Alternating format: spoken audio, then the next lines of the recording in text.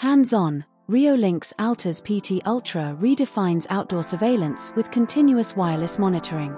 Unveiled at IFA, the Reolink Altas PT Ultra is setting a new standard in outdoor security cameras.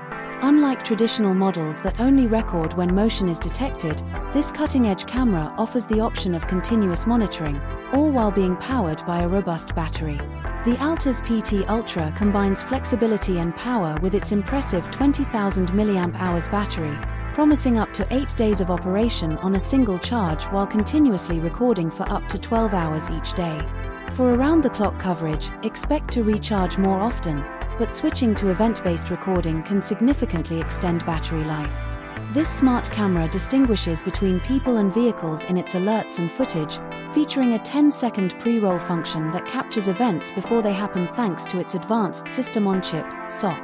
Its pan and tilt capabilities are equally impressive, offering a 350-degree horizontal rotation and a 90-degree vertical tilt, allowing it to track subjects automatically while recording. In terms of video quality, the Altas PT Ultra does not disappoint. It records in stunning 4K UHD and provides full-color night vision through its advanced sensor, surpassing the capabilities of traditional IR cameras. While its substantial size and robust design make it a standout piece, it also ensures durability and effectiveness.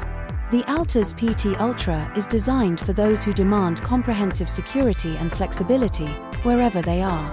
Reolink has yet to release pricing details, but the Altas PT Ultra is expected to hit the US market on September 25.